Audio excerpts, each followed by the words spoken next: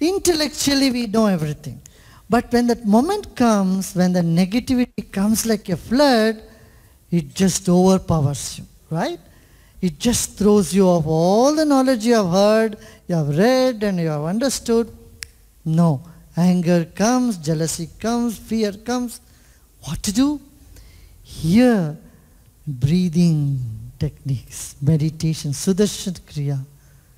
Kriya helps in a great manner, unbelievable fashion. It helps you to overcome the flood of emotions. Once we learn Kriya, it's like a mechanism within you. Automatically, there is a valve in you that functions like it helps you to overcome negative emotions much easy.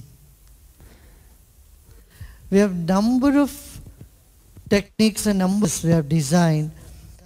If you have already done the basic program, you can do the four day silence program, four days, five days, you know.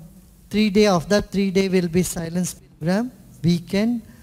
I tell you, it again makes you understand all the different uh, emotions in your body, how the negative emotions can be transformed into positive. The chakras in our body, how they function. There's a lot of knowledge that would help us to be strong and happy individuals.